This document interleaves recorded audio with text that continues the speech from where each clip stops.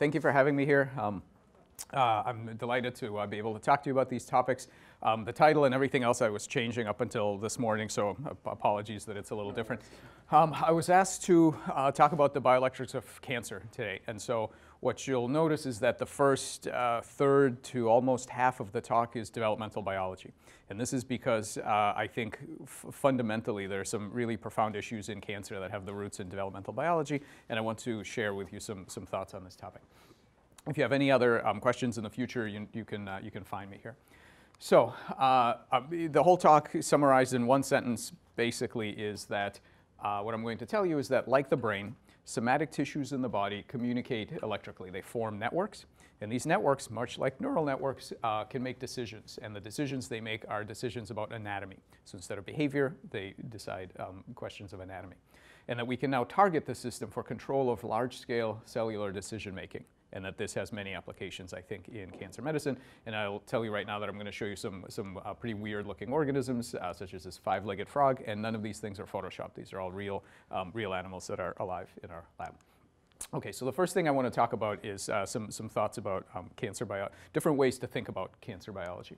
So this animal right here is a single-cell animal called a Lacrymaria. This is in real time. And you will see that as he goes around hunting for bacteria in its environment, you'll see a few things. Um, First, so, so, first of all, notice the incredible control uh, it has over its uh, anatomy. So people who are into soft body robotics and things like this, we don't have anything that remotely approaches this. So this, this animal uh, controls its pattern, its physiology, and its behavior all in one cell. And the reason I'm showing this to you is because a lot of people work on the question of why is there cancer and why, why cancer happens.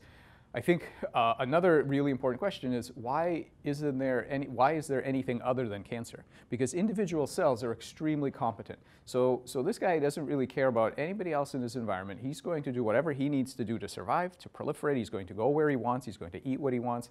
Um, he dumps um, uh, entropy into the, into, back into the environment. So the, the, the boundary of this, of this creature is right at the edge of that cell. That's all that it's concerned with in terms of measuring and managing events. It's all, the, all, all, it's concerned with. So individual cells are highly competent. Why would these things ever get together to form a large, a large body?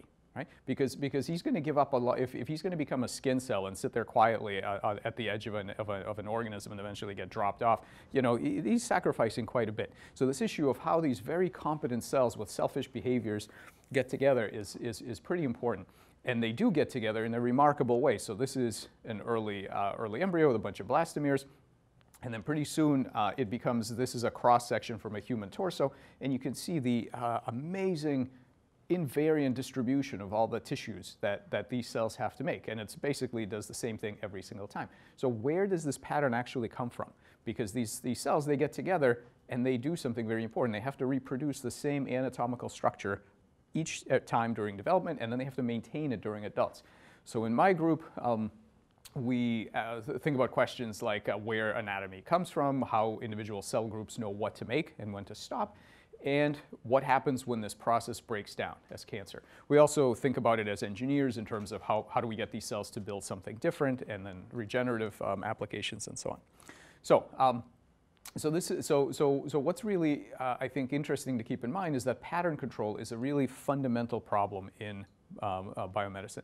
Because if we had control over large-scale three-dimensional structure, we really could have the solution to birth defects, traumatic injury, um, cancer, degenerative disease, aging, creation of synthetic living machines. Almost everything, with the exception of uh, perhaps uh, uh, infectious disease, could be handled if we really understood how to make cells build what we want them to build.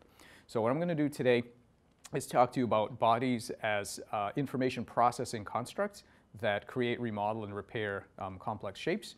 We're going to talk about some key knowledge gaps that I think are going to end up being uh, very relevant to both uh, development and the, and the cancer problem. Uh, specifically, we'll talk about the bioelectric code, which is the way that information is processed electrically in cells and tissues, and then talk about some future applications. So this is development. We all start life as a single cell. This uh, reliably self-assembles into one of these many um, anatomies. Uh, sometimes this process goes wrong, but um, this, this, uh, this is a teratoma, and this is very interesting to developmental biologists because in this kind of scenario, uh, this, this thing has teeth and, and skin and hair and pieces of bone and muscle and so on. And so cell differentiation proceeded. Okay? So, so there's no problem with cell differentiation. The problem is with the three-dimensional arrangement. So the reason this is different from that is that even though you have all your, all your uh, uh, cell types, they're not arranged in the, in the correct three-dimensional organization with each other. So this tells you that even if we understood all the mechanisms that take cells down specific lineages to form different types of tissues, that's still not the same as understanding the difference between, uh, between cancer and normal, um, normal embryogenesis. So uh, this is the sort of thing that uh, many people think about in developmental biology where it's sort of an open loop feed forward system where you have some gene regulatory networks. Some of these genes make proteins. There are some physics by which these proteins interact, uh, perhaps adhesion and, and so on. And then there's this magical process of emergence whereby lots of different cells interact uh, with each other under these rules and eventually something like this comes out. And so, so that's kind of a feed forward uh, way of looking at things. But here's something very interesting. Um, actually, patterning is not uh, an open loop system. So if you split uh, an early embryo, you don't get two half embryos, you get two perfectly normal, normal monozygotic twins. Um, so each half knows exactly what's missing and it can reproduce the missing part. You can do the opposite and you can actually smush uh, uh, embryos together at early stages and uh, you get a perfectly normal animal out the other end. So this is, this is amazing plasticity. We don't, again, have any, any artifacts uh, that behave this way. There's nothing we have that you can cut in half and you can have two, two working, uh, working copies. So beyond embryogenesis, this is regeneration. So some animals, like this axolotl, this salamander can regenerate its eyes, its limbs, its um, ovaries, its jaws, its uh, heart, and portions of the brain, um, spinal cord, and so on. Incredibly highly regenerative during its, um, during its lifespan. Here you can see what happens when you amputate a leg. So over time, exactly an indistinguishable uh, limb will appear. One of the most amazing things about regeneration, lots of people are working on how to augment regeneration in humans, let's say. One of the really critical questions is why does it stop? So this is a system that uh, has very rapid cell proliferation, all kinds of things going on. But when it finishes making a, a, a normal axolotl limb, everything grinds to a halt and it stops. So this is a system that knows what a proper uh, axolotl limb looks like because that serves as a stop condition to all these processes. So we really need to understand how, how that works. And uh, beyond that, there are other animals. So this is a planarian, which you'll see some uh, more information about later. But this is a flatworm that uh, actually you can cut into many pieces, and each piece gives rise to a perfectly normal tiny little planarian, and then they will, um, they will grow, and then you'll have many flatworms. So, so every piece, you can cut it anywhere you like. The record, um, uh, sometimes people wonder how small can you get. The record is about 275. And every piece knows exactly what's missing and can reproduce exactly what's needed and to restore a normal planarian. Now, right away, you see that there's some very interesting uh, decisions that have to be made. So for example, if you cut it like this, just cut it in half here, these cells will grow to make a tail. These cells will grow to make a head. So notice that you have completely different anatomical outcomes from cells that were near neighbors. They were, they were sitting right next to each other. So this is not a local phenomenon. You can't decide what you're going to be, head or tail, just by knowing your position within the, within the animal. So um, these kind of positional information uh, models have a lot of work to do because it's not enough to know where you are. You have to actually communicate with the rest of the tissue and say, well, the head's over here and there is a head, so I have to make a tail, all these kinds of things. And we need to understand how, how that works. Uh, important to know, regeneration is not just for so-called lower animals. So the human liver is highly regenerative. Deer is an amazing phenomenon, although a terrible model system, unfortunately. But um, I, have I've, so many times I've tried to, I've tried to get people to, to, to take this up. But um, the thing is, uh, so, so these guys, large adult uh, mammals, they regenerate, uh, and remember, this is not a horn, this is an antler, which means true bone, vasculature, innervation, the whole thing, up to a centimeter and a half of new bone per day. Just think about that. I mean, you can almost see this growing when it's coming out. It's ridiculous rates of, uh, of, of bone growth. And of course, human children regenerate their fingertips um, and then they lose this ability somewhere between 7 and 11.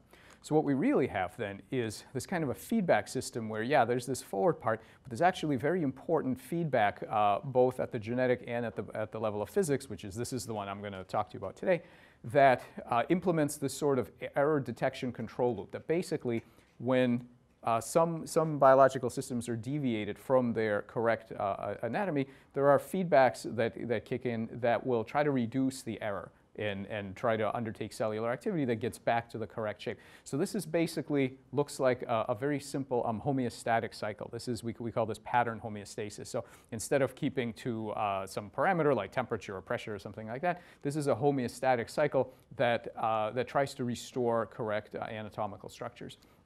And if you think about um, systems this way, then you have to uh, ask two simple questions. Number one, could we rewrite the set point? So every anatomical system has a particular set point, and can we change that set point and let the cells uh, build something different? And, and so could we, could we target this uh, kind of this, this, this computational process instead of rewiring some of this stuff? Could we, could we change the pattern to which these cells are working? So what we would like to do is, in addition to, uh, this is kind of the mainstream um, task, everybody's doing this, explain the sort of the finer mechanistic details of how cells become other cell types and so on.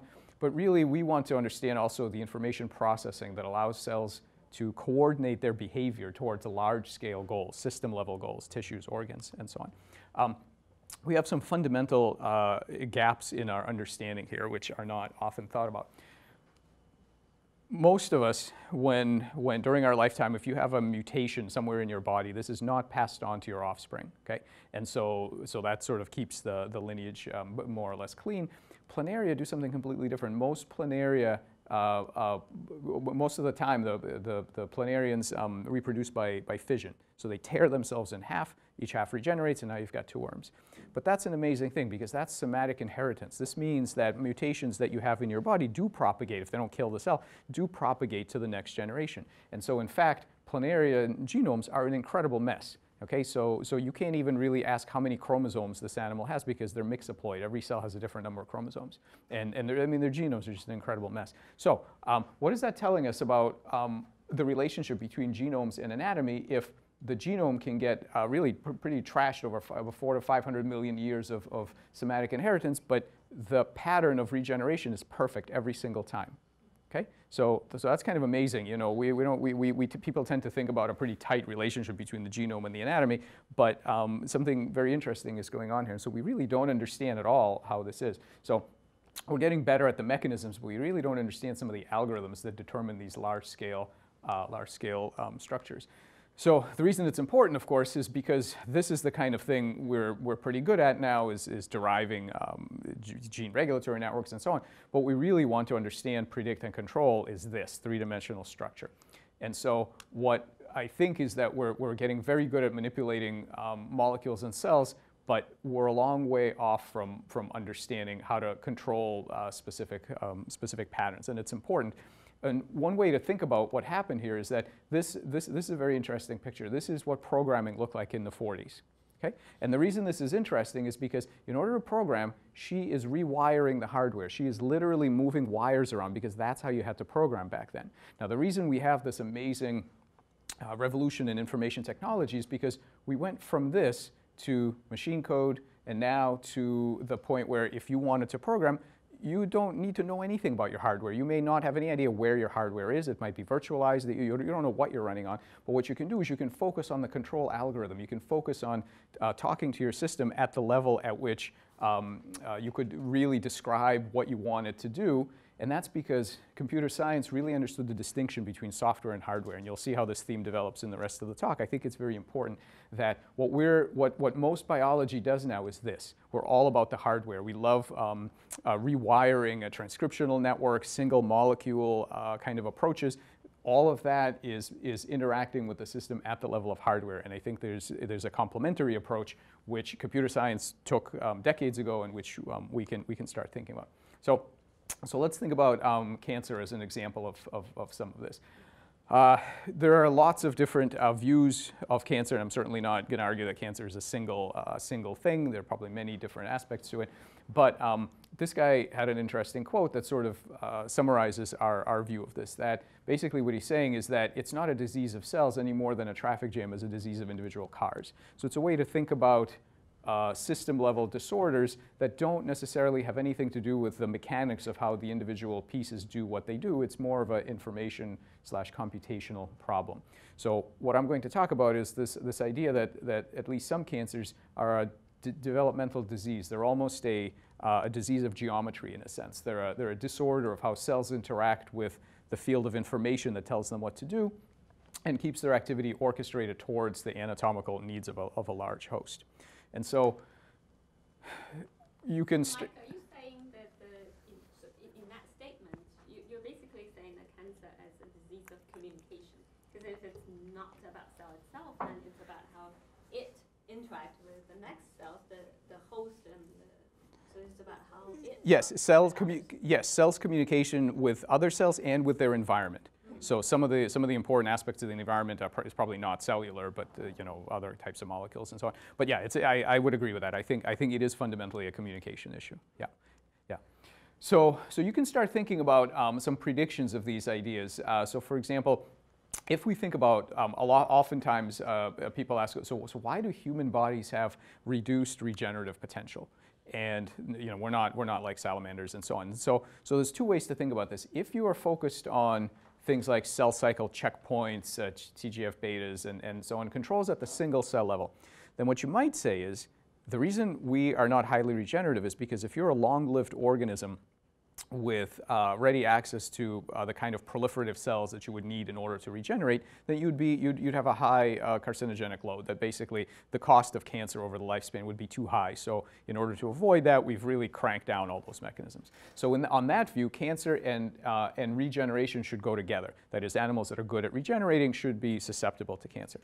There's a different way to think about this, which is which you could say, if you're focused on the morphogenetic control systems, you could say that organisms that are actually good at uh, being plastic and controlling their, um, their anatomical structures might actually be able to resist cancer by continuously reinforcing uh, the communication with cells that makes them do whatever um, they're supposed to be doing. And so, on that view, you should have uh, uh regeneration and cancer being uh, anti-correlated. Okay, and so so here's an example where the perspective, um, a sort of top-down versus bottom-up perspective, make different predictions. So it's not just philosophy; they make actually different predictions.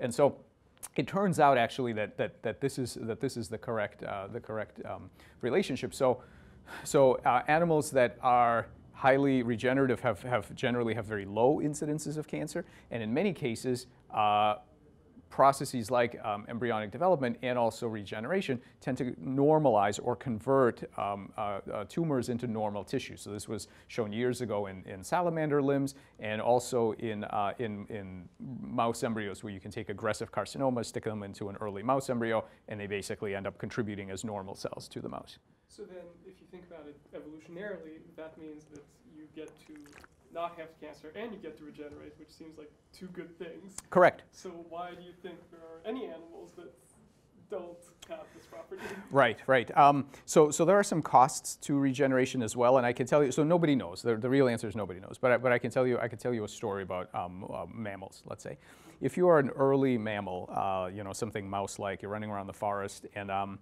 uh, somebody bites your leg off. Problem is, you have a couple of problems. Problem number one is you're going to bleed out. You have a high, uh, high blood pressure. You are, um, you know, you, salamanders can sort of hang out for long periods of time, and, and you know, six months later they'll get a, they'll get a leg. So, so the mammalian version of this is you need to clot, you need to scar, you need to seal it, or you're not, you're not going to be around long enough to, to regenerate. The other thing is that unlike these animals that are aquatic, so, so most of the good regenerators are aquatic, and, and I think there are two reasons for that. One is that in, a, in, in an aqueous environment, the, the limb doesn't have to be load-bearing. You're not trying to step on it. You know, you're not going to regenerate much of a blastema if you're constantly grinding it into the forest floor as you're, as you're walking around. The other thing is that, and actually the one example of, of mammals that are highly regenerative, the deer, it's not the legs that regenerate, it's the, it's the antlers which, which experience no pressure at all. The other thing that, um, that I think really helps about being aquatic, which we'll get to in a minute, is the fact that in water, you can more easily drive a lot of the bioelectric currents that you actually need to kickstart this. So I think what mammals have done is simply said, uh, it, it's, it's not useful enough. Uh, we, we just really need to go the scarring route. And they went towards scarring, clotting, um, you know, inflammation, all that kind of stuff. So, so that's, but, but, but I don't have any proof of that. That's just the story. So, so how about aquatic mammals like whales or dolphins? Do they? That is a great question. I'm not sure anybody's allowed to check if a dolphin or a whale is regenerative, but it might be a good, uh, it's a great question. I, I, don't know, but but but keep in mind that all of them went through a land phase, right? As, as far as I know, and so so I think they may have not regained it, or they may have. but know. we know that sharks, for example, scar very well. Uh, I mean, at least, you know, you can see pictures of sharks that have like run into other sharks and propellers, and they have like, Yeah. you know, their faces just destroyed. Yeah. Uh, so, and then, are there, is there something about fish? Uh, uh, un- unclear. Um, unclear. Skin, you know, skin scarring is, is also not the, quite the same as regeneration, and we can get we can get back to that. In, in some senses, it might be easier to actually regenerate a structure than to heal um, skin, and we can we can talk later about what that might be. Um, but this is very much an open question. Nobody has any idea why. Regeneration is very um, sort of um, uh, sporadically sprinkled around. It's not like that all the simple organisms regenerate in the complex. It's really not that at all. It's, it's, there are sister species of crabs where one regenerates and one doesn't regenerate anything. It's very, very strange. Um, okay, so, um, okay, so, so, so one of the ideas then is that at this, at this way of thinking about things that's, that's sort of at the center of, of, of development, regeneration, and cancer is that if it is uh, a problem of communication and not some sort of irrevocable, irrevocable defect in a specific founder cell, then what you might be able to do is reboot the patterning program, which would, the, would be uh, an alternative method to, to, to, to killing um, chemotherapy, which has, aside from the toxicity, it also you, you can evolve tumor resistance, you can, evolve, you can activate a compensatory proliferation response, all kinds of things. It would be nice if we could reprogram these cells instead of having to track all of them down and killing them. So what we're interested in then is asking, okay, so what are these signals that keep cells working towards a normal anatomy? Because if you knew what those were, maybe you could re, reactivate them during, um, during instances of cancer. So we, all, cells in the body are embedded in this, in this morphogenetic field. It's basically just uh, the sum total of all the information that comes at cells that's um, uh, telling them what to do. And this information comes at them with in different flavors. There's obviously chemical signals, uh, extracellular matrix, tensions, stresses, pressures, oxygen gradients, lots of different things. The one we're going to talk about is bioelectrical. It's sort of my favorite element. It's just, but, but, the, but the reason I put this up here is that if I spend the next half hour talking about bioelectricity, it's not because I think bioelectricity does everything. It's because it's an important layer of a, of a, of a very complex um, informational structure. So let's talk about bioelectricity and what that is. Everybody's used to the story of neuroscience, which is that the brain consists of some hardware. Hardware uh, is basically these cells that have um, ion channels in the plasma membrane.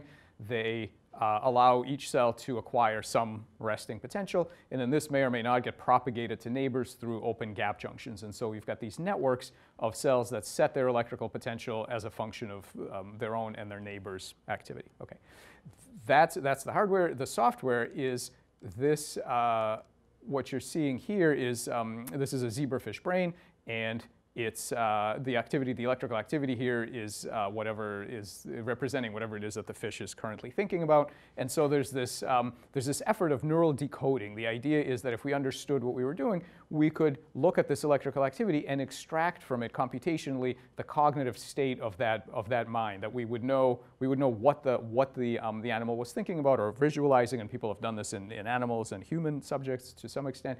And the idea is that um, we want to be able to read out the information content of the electrical activity of this tissue. Okay?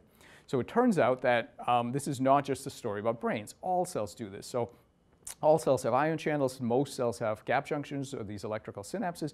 And in fact, uh, you can see here, this is uh, an early frog embryo, and the, and the, the pseudocoloring shows you the, the voltage gradients of all the different cells as they communicate with each other to figure out who's going to be left, who's going to be right, dorsal, ventral, anterior, posterior. And our goal is very similar. We want to understand this electrical language and figure out the, the, the information content of these signals so that we know what, uh, what anatomical structures they're making. Okay? It's very, very pa parallel.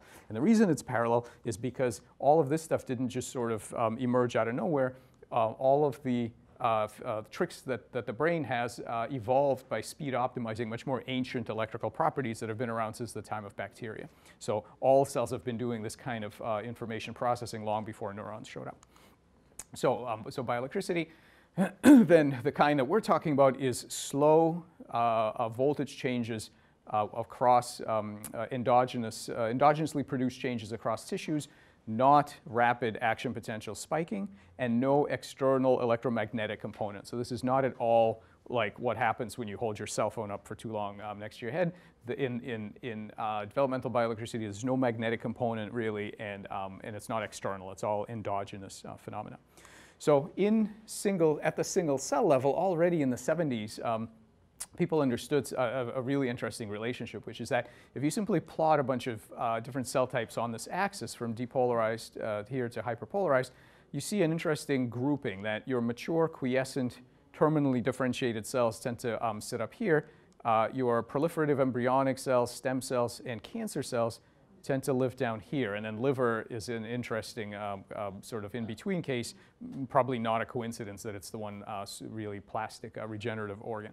So this is now at the, at the single cell level. And what's interesting is that this is not just an epiphenomenon.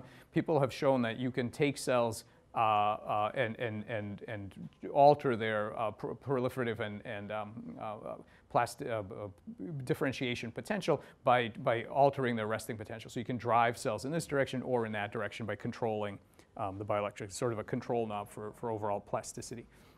And so we developed some, um, some strategies for looking at this in vivo now to think about a large scale uh, types of things. So here is the flank of a tadpole. Uh, it's been soaked with a voltage sensitive fluorescent dye. Each one of these little things is a single cell.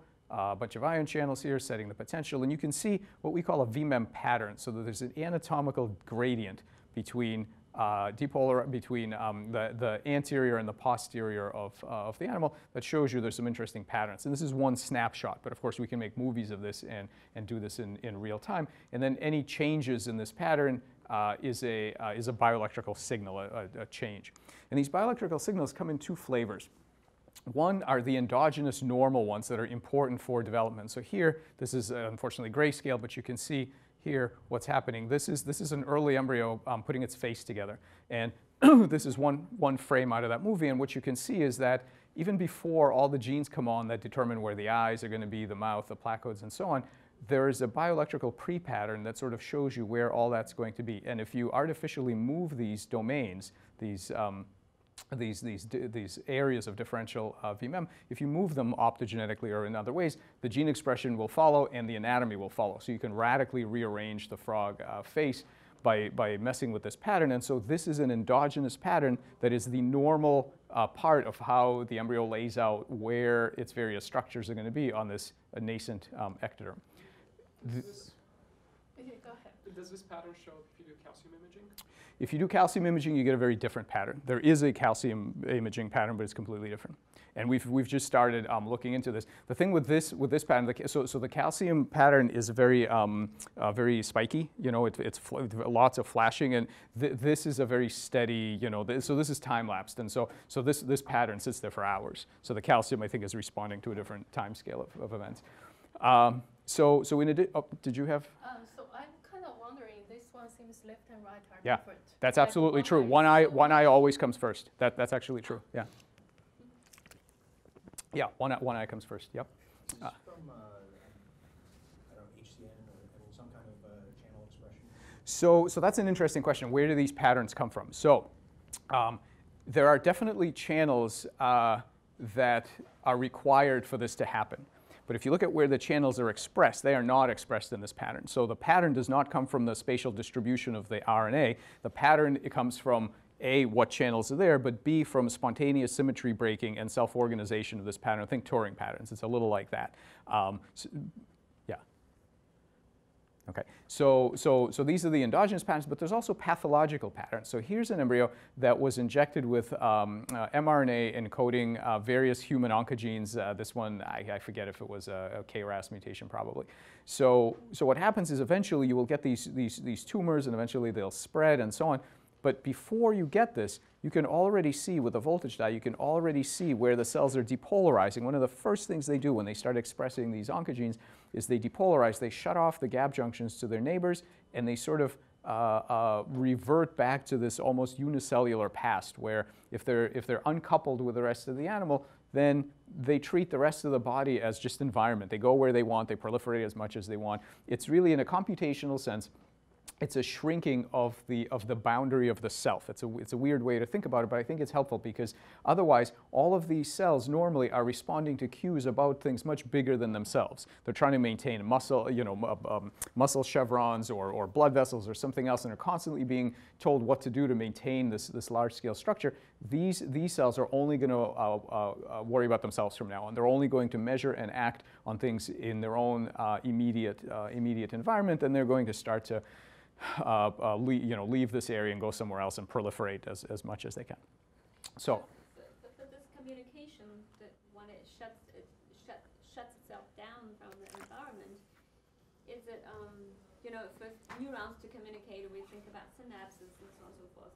And here, is it because the gradient, is it chemical gradient, electric, I mean, what is it that uh, it becomes from? It's the gap junctions. So, so it's the gap junction. So it's a loss of gap junction connectivity. So, so, the, so the first physiological and eventually transcriptional. So eventually they will actually change their transcriptional profile, but the first thing they do is that the existing gap junctions just shut down. And you can see this directly with dyes. You can put in small fluorescent dyes, and you can just see, uh, you can just see that, that they've stopped communicating with the rest of the, the rest of the animal. Or Is the overexpression of the oncogenes directly driving the loss of gap junction activity?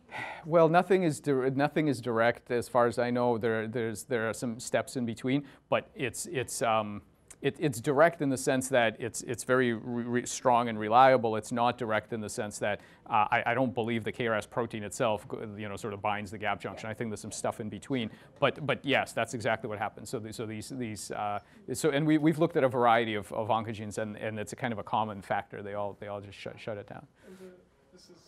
I'm not sure quite how to ask this, but the gap junction has two sides, right? There's Yeah. the cancer Yeah. and there's Yeah. the environment. Yeah. Could it be that the environment is cutting off the gap That's a great question. That's a great question. Hang, hang on to that um, for about five minutes. We're going to get into um, uh, non-local effects here. So that, that's entirely possible. Yeah. So okay. So so I want to um, briefly show you some tools that we use uh, because because one of the things uh, people often people are unfamiliar with how one studies these bioelectrical signals. So the first thing we do is uh, we have ways of tracking this with voltage dyes, and of course now there's um, uh, uh, genetically encoded uh, voltage reporter proteins and so on. So you want to be able to track these states. Then we do a lot of quantitative simulation. So we have a particular tool that has been developed. Um, uh, that I'll mention towards the end that allows us to take the knowledge of which ion channels and pumps are expressed in a particular cell and to figure out, well, okay, well, what is the resting potential going to be then, right? And it's a very non-trivial, um, non-trivial thing. And then really important are the functional tools. So if we have some sort of network of non-neural cells here, we basically can do one of two things. We can control the topology of the network, so we can take these gap junctions and either genetically or pharmacologically, we can, we can either close them or open them, introduce new ones, put in mutants of gap junctions. So, so we can control which cells talk to which other cells. Or we can uh, control directly the electrical uh, state of individual cells. So again, with drug blockers or putting in new channels or optogenetically, we can control the individual state of these cells. So, so in neuroscience, this is roughly equivalent to um, synaptic and intrinsic um, plasticity that we can, we can control. I was going to show you a couple of examples of, of why this is important and uh, sort of warm up the idea that, that these, these electrical communications actually matter. So one thing we discovered long ago is that because, and eventually we discovered that, that um, Danny Adams and, and my group discovered this electric uh, phase phenomenon, we found out that um, if you, if you uh, simply express a, a variety of ion channels in uh, regions of the embryo that are going to give rise to, to tissues outside of the head. So here are some cells that are going to give rise to this gut, and we throw in some KV1.5 channel. Uh, remarkably, this, this portion of the gut now forms an eye. And this is pretty, pretty amazing for a couple of reasons. Number one, um, it was thought before, based on uh, experiments with the uh, master eye gene, PAX6, that only tissues up here in the anterior neurorectator were competent to become eye. So that's not true. You can make eyes out of almost anything. We've made eyes in spinal cord. We've made eyes out of, um, uh, you know, gut. Um, and so, so that's pretty interesting. It's not really thought that, um, that endoderm is supposed to be able to make eyes. And uh, the other thing that's interesting, and, and by the way, if you section these eyes, they have all the same tissue layers that you would expect, lens, retina, all that stuff. Uh, the other th- they are, they are functioning. Uh, that, that's a whole separate thing we can talk about. We've done, we've done a whole study of, um, of plasticity, of brain plasticity. And it turns out that you can put eyes on the tail of a tadpole of, that's otherwise blind, and that animal will absolutely see out of that eye. So the, the brain, the plasticity is amazing. The brain, the brain um, that evolved for millions of years to expect visual input from this part of the body can suddenly say, yeah, there's this weird itchy patch of tissue on my tail. I know what that is. That's visual data. And, and just do color, you know, um, recognition and, and, and um, image. Well, you know, they have some image forming ability. It's, it's pretty amazing. Yeah, but the other thing that's pretty cool about this is that notice the modularity here. In other words, what we did not have to do is go in and, and, and micromanage the, the construction of the eye and to say, okay, I want some lens here, I want some optic nerve here. We don't know how to do that. We have no idea how to do that. So, you know, if, so, so, so what's interesting to me is that this is, this is a, a very modular effect that you can basically uh, ba- basically what I think we found is, is almost like a subroutine call of saying build an eye right here. And there's a particular state that induces eye formation. The animal already knows how to make an eye, and you really don't need to know all the steps of how it happens in order to trigger this. And another example of that is here the planaria. You've got your head and tail. Here's the middle fragment. The middle fragment has a very interesting bioelectrical gradient that tells it where the head and the tail are supposed to go. And if you go and depolarize this end to match that end, these cells will happily decide that they need to now make a head, and now you have this two-headed animal.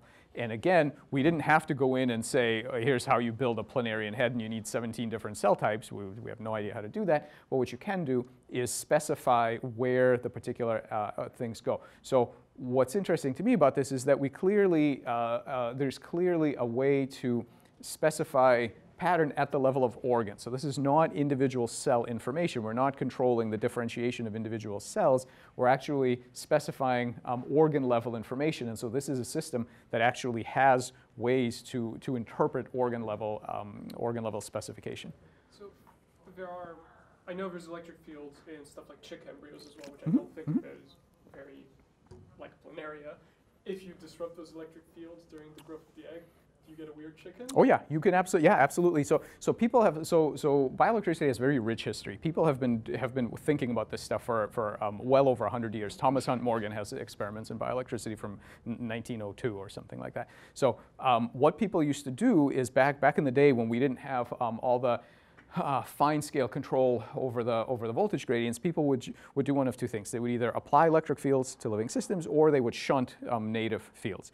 In both of the and chicken was a popular model. So in both of those cases, absolutely you can um, by applying fields, you can, for example, um, flip dorsiventral polarity of the early chick embryo. So Claudio Stern did that in the 80s, or by by shunting uh, the existing field in the limb or the tail, you can prevent both of those structures from having normal morphology. The problem is the control, the control that you have by manipulating the actual electric field is pretty low. So, so it's a sledgehammer. You can, you can screw things up, but it's really hard to do anything like this. This, this stuff basically is only possible because we now have control over the VMEM gradients, which is very hard to do with electrodes. Electrodes are just not a great um, uh, modality for this.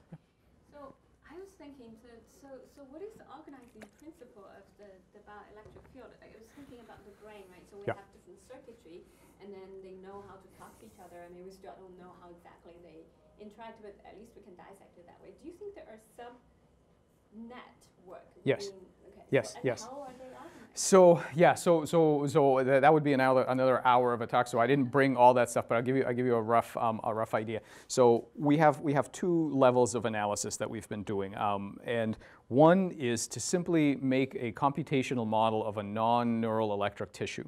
And if you do that, and so Adam Cohen certainly has done that, and, and we are now uh, doing it, you know, for, for these kind of cases, what you see is that there are absolutely um, uh, system-level rules about how electrical patterns break symmetry, how they propagate, how you establish boundaries, the size control, all of these, these kinds of things.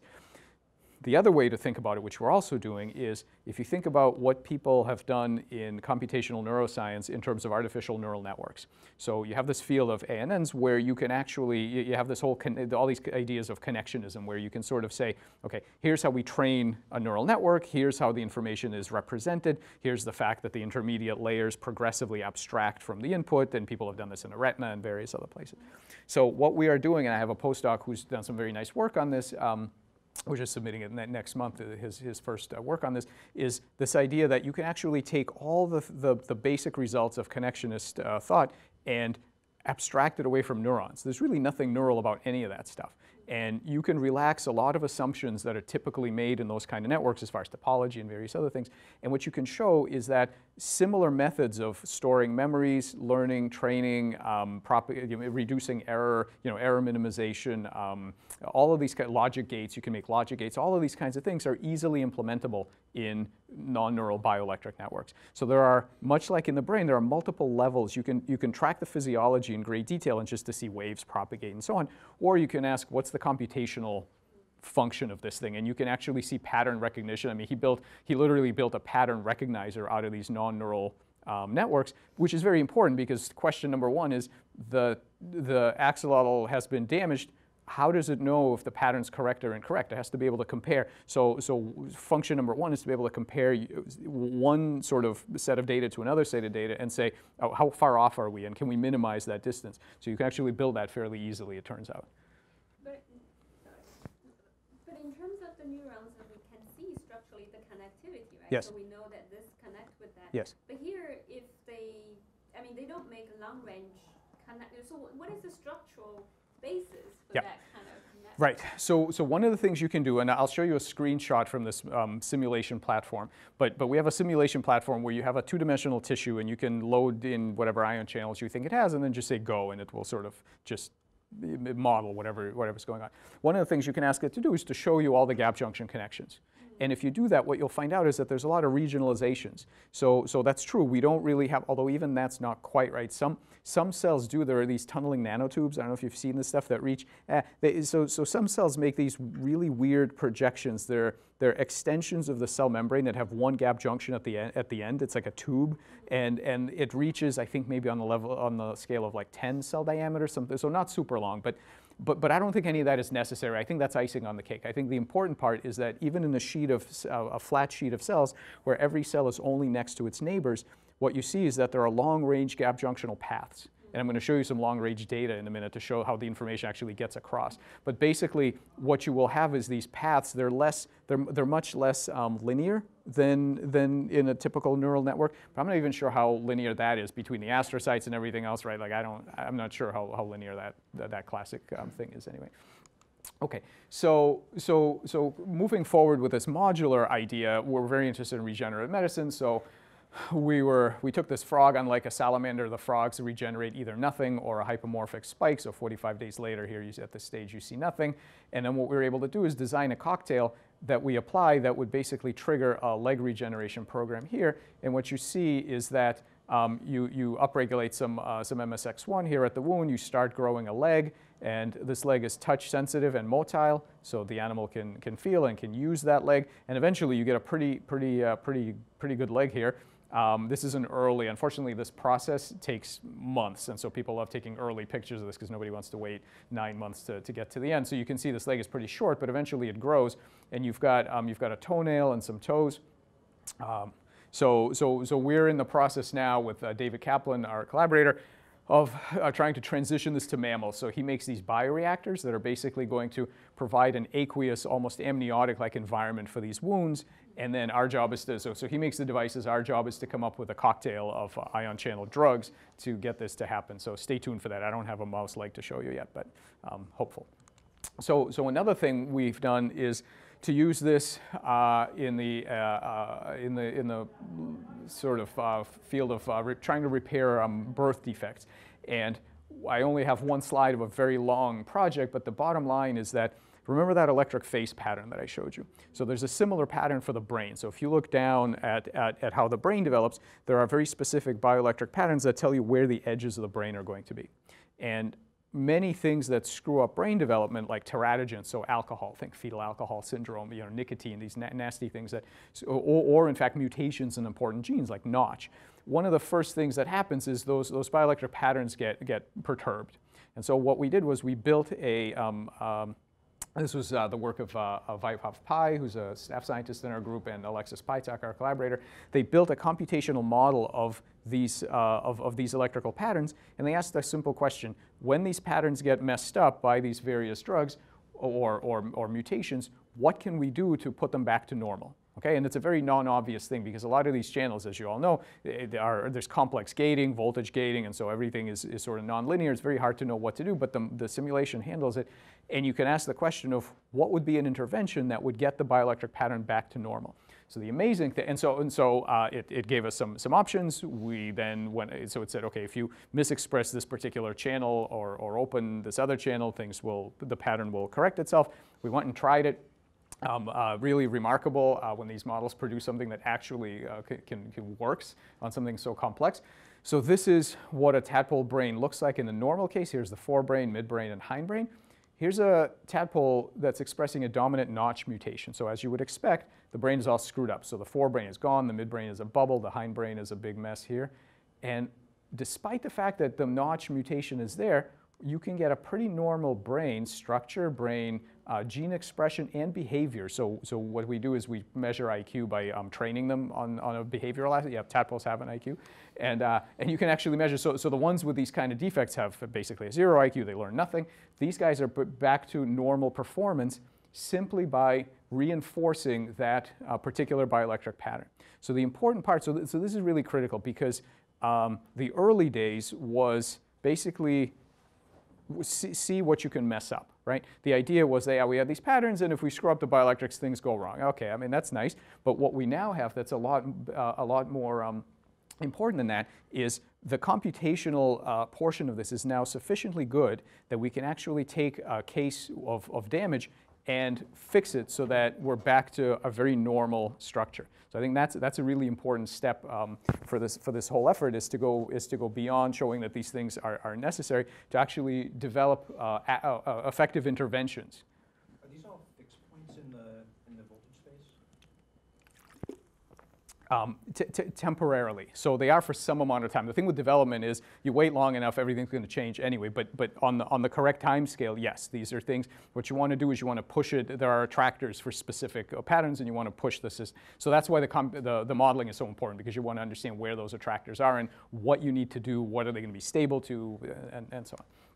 Okay, so, so, so, so what we've talked about is that a lot of important information is generated um, at the physiological level, sort of on the fly, and that um, manipulating some of this, uh, and, and, and you know, mind you, uh, we, could, we could talk for many hours about other, other data that, that, that suggests this, uh, manipulating the electrical decision making gives you some, some really uh, pretty, pretty amazing control over growth and patterning that would be very hard to duplicate with uh, competing approaches such as specific uh, growth factors and things like this. So, so now, um, so now uh, I want to show you some of the cancer specific, um, some of the cancer specific issues. So um, basically, uh, I'm, I'm, just going to show you very quickly uh, three, three stories. And I'm going to show you that bioelectrical signatures could be a diagnostic tool that you should be able to induce cancer-like phenotypes just by modulating these gradients. And I'm going to show you some uh, suppression or repair. Um, and just very quickly to say that uh, ion transporters are continuously being, um, channels and pumps are being implicated in cancer. So there's now a number of these that are considered to be oncogenes. And you can see here in these, uh, in these databases, like this GeoDatabase, you could see what happens to certain channel expressions as something moves from, from normal to, to, to malignancy. But I want to I want, and, and some people, there's people that are very excited about this and people that are using uh, this kind of uh, profiling to try and uh, fish out uh, channels that they consider drug targets. Okay. The problem is um, that you can't think of these things in the way that you would a transcription factor or a growth factor these, these channels, they open and close post-translationally as a function of uh, the cell physiology. So you can't merely look at this and say, oh, well, the malignant version has it off, so what I want to do is turn it on here. M maybe, but maybe not. It, you, you can't, it's not as simple because these things are not handled at the level of transcription. It's the physiological state, not the presence of the protein that's important. So there's some uh, there's some, some issues with that. We have to really deal with the, with the physiology. So, um, so, so here's what a frog tumor looks like. Here you can see it's attracted some blood vessels. Uh, that you can see the, the, the, the, blood going. And so, so basically, um, I've already shown you this. You can use uh, bioelectric dyes to know to um, determine where these kind of uh, these kinds of things are going to um, are going to take place. And so there are some obvious uh, uh, applications for diagnostics and um, modalities to try to visualize tumor margins, maybe during surgery, maybe as, you know, look for precancer on the skin and so on. So um, the next story I want to tell you about has to do with how can you, you can induce cancer without oncogenes, without DNA damage, without carcinogens. So um, here's a, a, neural crest cell from Xenopus. One of the things that these guys make is melanocytes or pigment cells. And here's what normal pigment cells look like right here. And so they're absent from these periocular regions, but you, there's a small number of these. And what we found is that there's a specific population of cells in the embryo that if you disrupt their electrical communication with their neighbors, one of the things that happens is these melanocytes which apparently depend on signals from these other cells, go completely crazy. You can see what happens here when you do that. And we do this of, of, with, a, with a, you can do this either with a misexpression of a channel or a drug that opens um, this glycine-gated chloride channel. And these cells, they overproliferate, so you can see there's way more of them. Eh, they, they migrate into these areas that are normally pretty clear. It's an MMP-dependent uh, process, like you would expect from, from metastasis. And well, this is what they look like. So here's, here's the cross-section through a tadpole. Here are normal melanocytes, small number of uh, nice round little melanocytes. This is what transformed melanocytes look like. You can see here they've got these crazy long projections. It's because they're trying to uh, dive into, they, they, they invade the neural tube, they invade the lumen here, uh, try to get into the brain. They get all into the, um, the blood vessels here. I mean, it's basically melanoma. And remember that, that there's nothing genetically wrong with these animals. So now, if you sequence this or you look for markers, eventually they turn on slug and, and snail and all these things that you would expect to see in, in melanoma. But originally, there's nothing wrong with there's nothing wrong with any of these cells per se. All that's happened is a one particular ion channel has left them unable to communicate with these instructor cells. There's also a, um, a blood vessel phenotype that you can see here. Um, and so the interesting thing here is to keep in mind is, and this starts to get at what you were asking before, and I'll show you some more data on this. Keep in mind that the cells that were electrically targeted are not the cells that responded. So here in, in this, in this uh, blue um, lineage dye, these are the cells that were, that were targeted. These up here are the cells that, that transform. This is a long-range signaling event. Um, I don't have a lot of time to go into it, but it happens to be serotonergically mediated. We took apart this whole thing. It has to do with, uh, with, with serotonin and, and so on. There's a lot of, a lot of um, uh, actual detail about how that works. But this is, this is a non-cell autonomous effect. So what happens electrically in one region has a lot of um, implications for what cells do in another region. I'll show you more of that in a moment. So, and so, so then we come to the opposite. We said, okay, well, if, if, if the disruption of these electrical signals is sufficient to trigger this, this metastatic phenotype, can we do the opposite and suppress or reprogram cancer uh, by restoring normal electrical properties? So what we would do is we would inject um, human oncogene RNA and co-inject uh, various ion channels to try to get force the cells to remain uh, to remain at normal VMEM. And what you see here, this is just one example. We did this for KRAS, for for uh, REL3, for GLI, and so on, P53. Basically, normal cells, and, and, the, and the oncogene is red tagged, okay? So, so the red tagged cells are giving you these tumors, but even though the two, in the case where you co-inject a particular channel, even though the cells are expressing the, the oncogene quite strongly, there doesn't have to be a tumor here. And it's a very significant suppression effect if you force the, the electrical properties of these cells with a completely exogenous channel that the oncogene um, doesn't, uh, doesn't know how to, how to turn off. It happens to be a constitutively active one. Then you can, you can uh, maintain normal physiology, and even though, uh, even though you've got this, this oncogene, you will not have a, a tumor. So this is, this is another important area where the sort of genetic information diverges from what the actual phenotype is, because if you sequence this thing, you will find the, um, the oncogenic mutation and you will make a prediction that you're going to have a tumor, and actually you can't, you won't know the right answer until you, you actually profile the physiology. So it's very important that you can't predict these just by uh, protein or transcriptional um, profile alone. And so we've done this now also with optogenetics, so you can put in various optogenetic channels, and again, uh, depending on how you light it up, you can suppress, uh, suppress tumorigenesis and so on. So um, really to, to, to, drive this home, uh, this idea of this dissociation between the outcome and the, and, the, and the genetics, here's an example where we basically we introduce a particular sodium channel, and depending on how much actual sodium we put into the medium, you will either get a tumor, this really invasive thing, or you will get an ectopic eye structure. And the difference between whether or not you get a tumor or an eye is literally the amount of sodium in the water. That's all. So, so that, you know, that's a very like, like simple um, demonstration that the outcome is not uh, necessarily dictated by, in, in, both cases, the channel is exactly the same. And, so, and, and of course, there's no DNA damage anywhere here. So um, to start to close up, I'm just going to show you a few, uh, few things where I think this is going. Um, here, here's again this, this theme of uh, and, and uh, this, this, this theme of, of genome versus, versus outcome that I think is very important. And the reason I harp on all this stuff is just to underscore how important this physiological layer is that sits in between the, the genetics and the, and the anatomy. So, so here's our, here's our two-headed worm that I showed you. And one of my students asked a, a, a simple question in um, uh, 2009 or so. Uh, well, so, so you've got this two-headed worm, and you wait a couple weeks, the drug is gone within 48 hours. You wait a few weeks, and then what we're going to do is we're going to remove this, uh, this ectopic head. We're going to remove the primary head. We're going to leave just the nice normal gut um, that has no, uh, no brain at all. Uh, whatever we ep- epigenetically reprogrammed or whatever for this ectopic head, that's gone. The, the, the, there's no genomic editing that took place, so surely this thing would make a normal embryo, a normal uh, worm rather. And so, because in theory the genome sets the that sets the structure, so let's let's do that. And the reason I'm showing this to you is because that's not at all what happens. What happens is that when you do this, these worms are in perpetuity two-headed, permanent, permanent. Okay, and so so think about what this means. Um, again, you sequence these guys, all you're going to get is a normal Degisia japonica genome. There's nothing wrong with their, with their genomic sequence.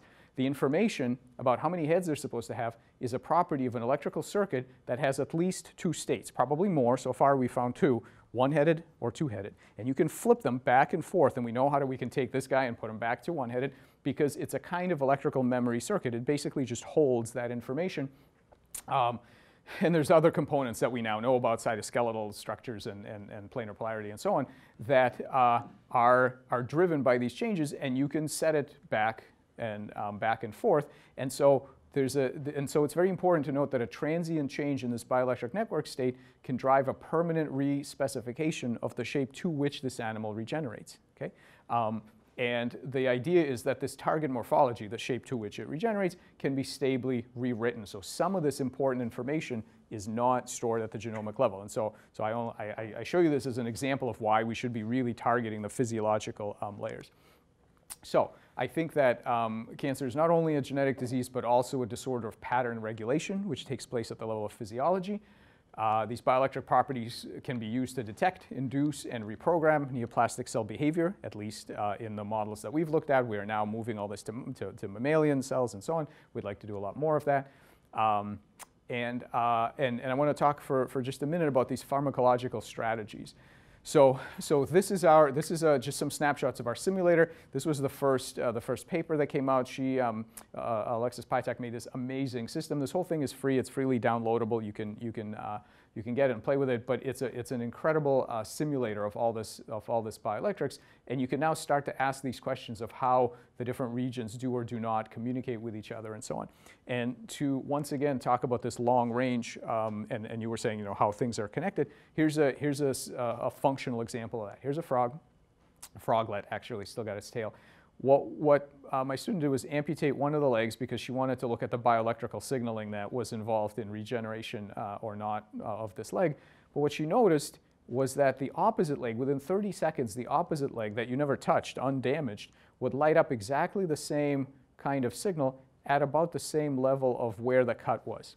So within 30 seconds, the opposite untouched leg finds out where the damage was and what kind of damage, because you can actually recover from, from looking at the signal, you can recover information about whether it was a stab wound or a cut wound or what it was. So it, that, that information propagates centimeters across, and it does so at a, it's a very interesting speed. It's, it's, and actually, so, so we know it's not um, neural because you can take out the spinal cord all here and it still gets across, so it's not neurally mediated. It's, it's slower than what neural conduction would be, but it's way faster than what diffusion would be. Okay? Does it work like it's some sort of template? So that's a, that's a great question, yeah. Yeah, we were thinking about why. Okay, so why does the uncut leg need to do this? And there's a couple of options. One option is that uh, it's, it's using this as a template of what it's going to do for regeneration. That's one possibility. Another possibility is that this leg is getting ready on the theory that something just bit off one leg uh, it's part, it might still be around, so is there anything we could do to make life better if he does decides to bite the other leg? So that's that, you know, I mean, that's a, that's a hypothesis. We have no idea if that's if that's right. So we're still we're still you know, this is this is just a few months ago we um we published this. Uh, yeah, if there's some, uh, local peak in the, uh, um, uh, the voltage, then in order to conserve the symmetry of the system, the, might have to. be I see, I see. Yeah, could well, could well be, could well be. Um, yeah, it could well. Yeah, we don't, we don't know. But one thing this, one thing this offers the opportunity of doing is uh, surrogate site monitoring. So the idea is, if we didn't have access to what was going on here, could we look at another part of the animal and figure out what was going on, right? How much can you tell from looking at one portion and another? And we have all kinds of um, experiments. Uh, Are you interested, I mean, so what is it, is it that, that they're communicating? It's faster, it's slower than, it's faster than diffusion. Oh, yeah.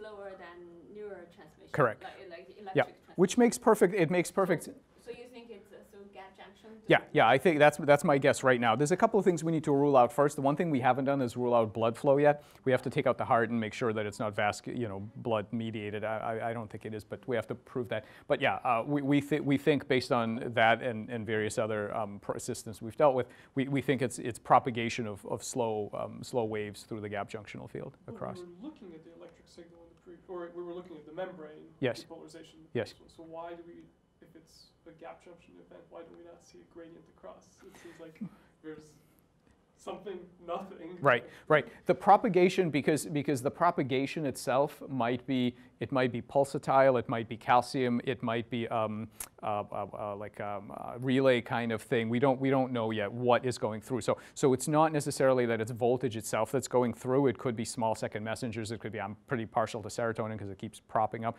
It could be things that we can't see yet. But by the time it gets to where it's going, it gets converted to, that, that's what we think Okay, so right we're now.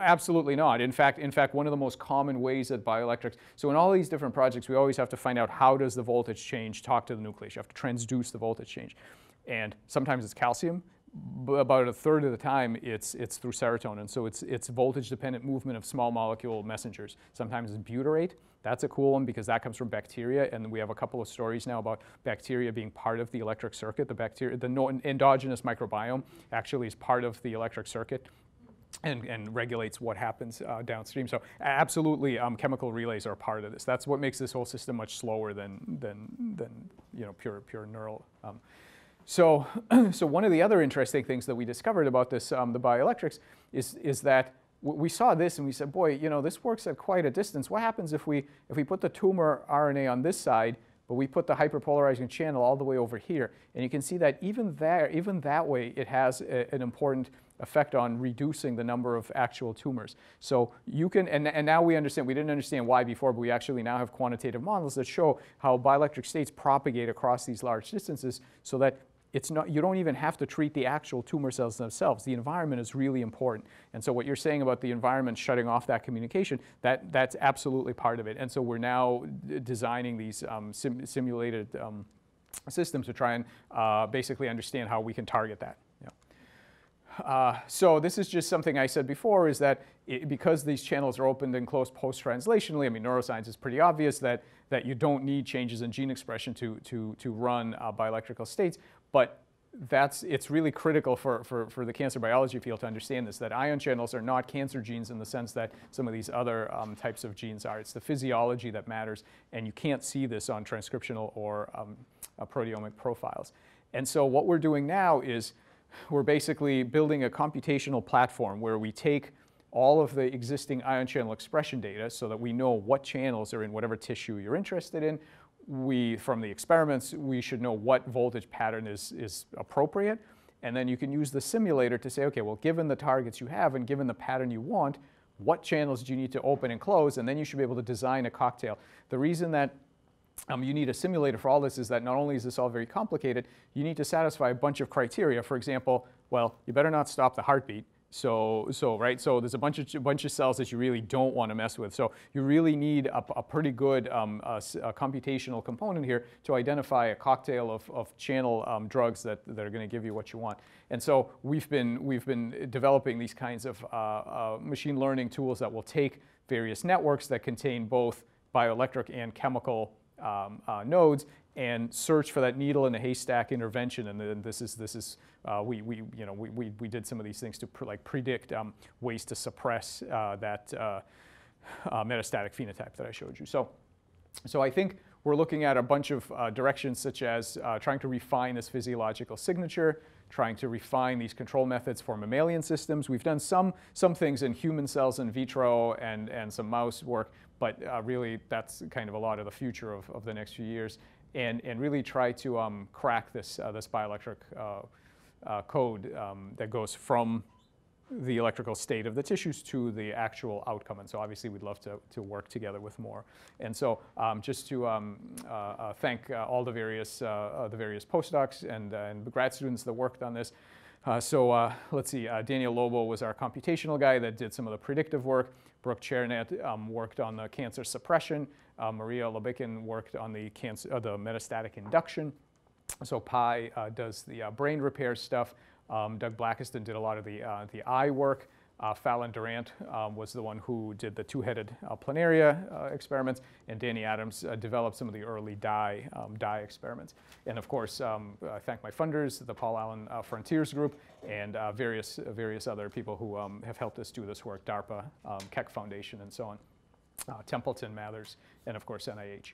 And then uh, if you're ever wondering how, uh, what the two-headed animals look like, this is what they look like. So, yeah. Cut off the heads from the two-headed one. How many heads do you get on the resulting planaria? So, so if you cut off the two heads, uh, what you will get is uh, each individual head will grow a tail, and uh, but the, the middle fragment will go will head, grow two heads. So you'll get two single heads and one double head from each of those cuts. Yeah. So thank you. I'll take questions.